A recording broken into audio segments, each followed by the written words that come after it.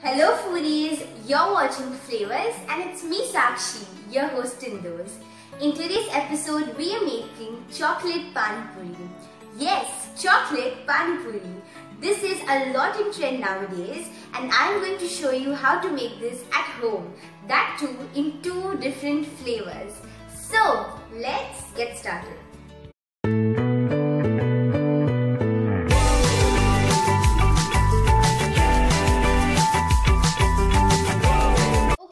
Let's get started with making our chocolate pani puris. So here I have about half a cup of melted dark chocolate. You can also use milk chocolate, um, any, any of your choice. And to that we're going to place these pani puris.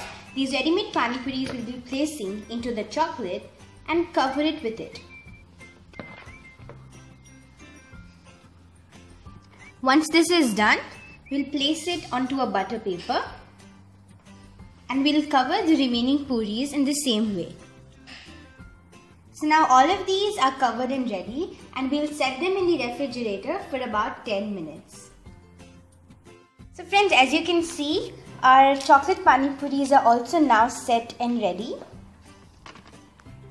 So for pricking the puris, so here we'll take one and I have a small spoon over here and we'll just gently tap it onto the surface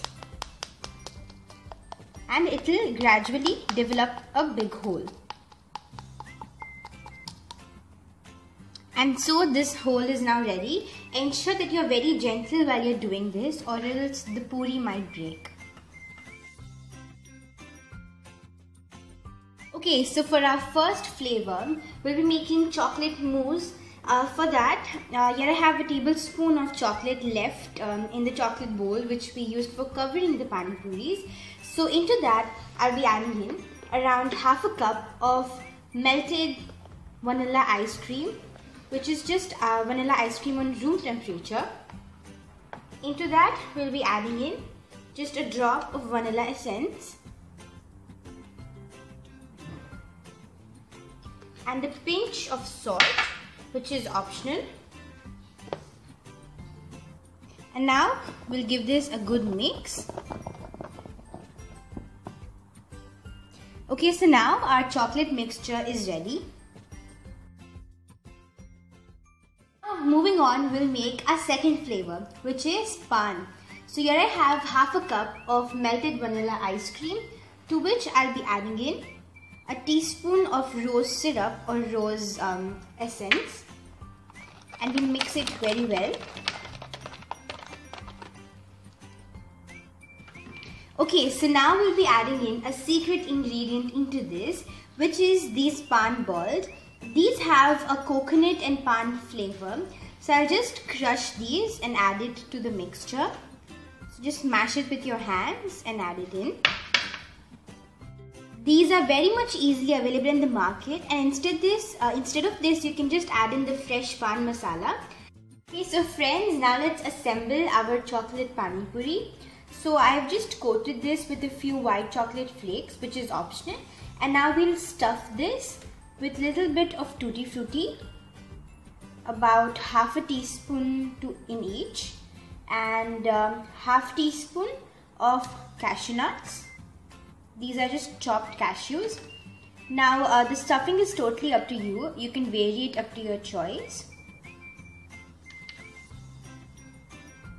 these are filled and ready and our chocolate and pan mixture is also chilled and ready. So now let's serve it. Our presentation is of course going to be unique. We'll be using these short glasses and um, into two of these we'll be pouring in our chocolate mousse filling and in the other two the pan filling. And now we'll place the puris on top.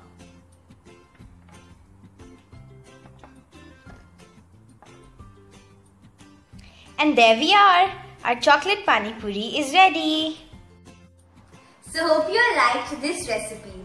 We also have some new exotic flavors coming up in the next few videos. So do give the recipe a try and tell us how it turned out in the comment section below. And don't forget to like and subscribe to Flavors. Till then, it's me Sakshi signing off. Goodbye.